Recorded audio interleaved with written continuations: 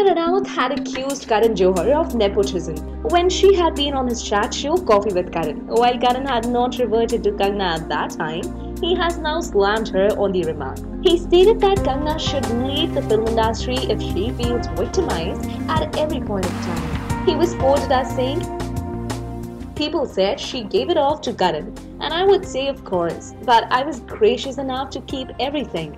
I cut none of it, and I do edit so much of stuff from the show. I was like, let the world see her opinion. I gave her the platform to speak, and now this is my platform. So I am here speaking what I want to. I want to conclude by saying I'm done with Kangana playing the woman with card and the victim card. You can't be a victim at every point of time who has a sad story to say as to how you have been terrorized by the bad world of industry. If that's the case, leave it, concluded Johar. What do you have to say on the story? Leave your comments below. And for more Bollywood updates, subscribe our channel Bollywood Inside Out.